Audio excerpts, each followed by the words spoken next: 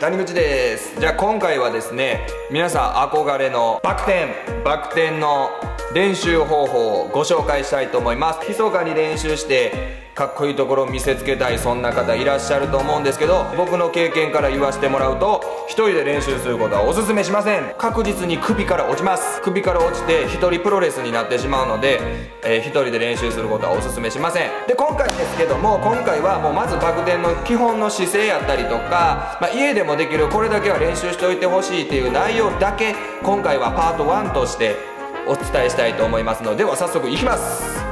ドンバク転のイメージだけをちょっと感覚つかむために必要な練習。3つご用意いたしましたので第1弾いきます。で第1弾は家に回るこれ使います。ちゃんとはいこれ椅子ですね。これはバク転の飛ぶ前の姿勢を体に覚えてもらうための練習に使えます。では実際にやっていきたいと思います。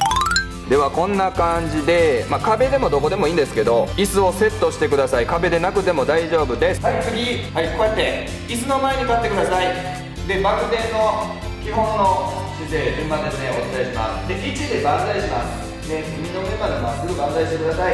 で次は手を下に下げながらこの椅子に座ります。はいこれだけです。これだけでバク転のイメージがつかめます。でどこが大事かっていうとこの足ですね今90度になってると思うんですけどこの90度しっかり意識して座ってください。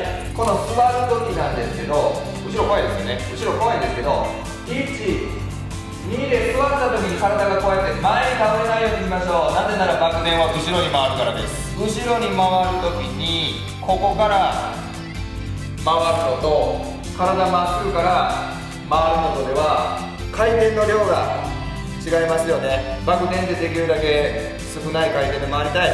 回りたいこんなとこからパワー使って回りたくない。ということでしゃがむ時はできるだけ体をまっすぐにしましょう。12これです。これですね。しっかり目線は前を向いておきましょう。これいっぱい練習してください。で次姿勢が慣れてきたら今度は椅子を外してください。で今度は壁がいります。壁がいります。まあ一回空気椅子ね。空気椅子やってみてください。よいしょ。はい空気椅子ですね。はいこれ。これです。空気椅子で90度に足が曲がるところで立ちましょう。あとは同じことをします。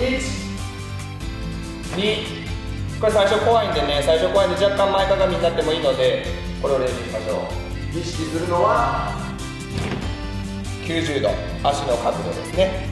覚えておいてください。12痛い。痛いって思う方は何か何かちょっとタオルかなんか引いてくださいね。でこの時に体重は自分の重さが前にかからないように後ろにかけましょう。後ろに持たれる感じね。後ろに持たれる感じで練習してください。ステップ2今度は実際にね体操の技でバク転の中で必要な技これだけ練習しておいてほしい技を紹介します。1個目。1個目。壁倒立です。まずは倒立どんなんか練習しましょう。壁倒立のやり方は手はしっかりパーでつきましょう。で肩幅に手を広げてください。で今度は目線見るとこなんですけど見るとこは手と手の間ずっと見ておいてください。でここから壁を登っていきましょう。まずは難しい人はここに穴が開いててもいいので10秒我慢してください。慣れてきたらお腹がくっつくまで。よいしょ。壁倒立してください。この時に目線はしっかり下でつま先までしっかり力を入れてお腹もぺっちゃりつけて手から足までが一直線になるように壁倒立ができるようになっておきましょう。ここまでできるといいですね。いろんな技できるようになります。よいしょああできるだけ無理のないようにやりましょう。まずは10秒からいってください。でまあ大体30秒ぐらいまでできたらいいかな。次ですね。ブリッジバク転の時にブリッジの形になるのでブリッジも練習しといてください。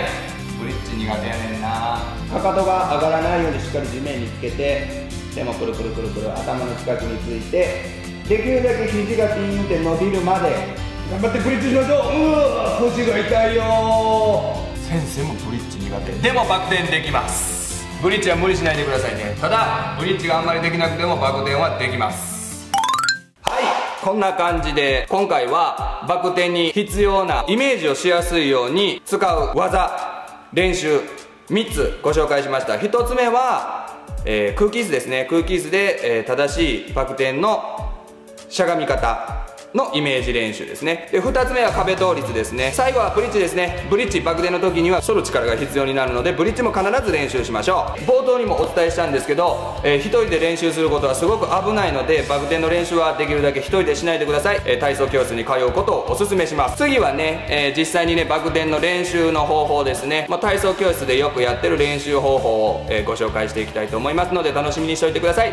では今回はこれでおしまいにしたいと思います。さようなら。第2弾もお楽しみに。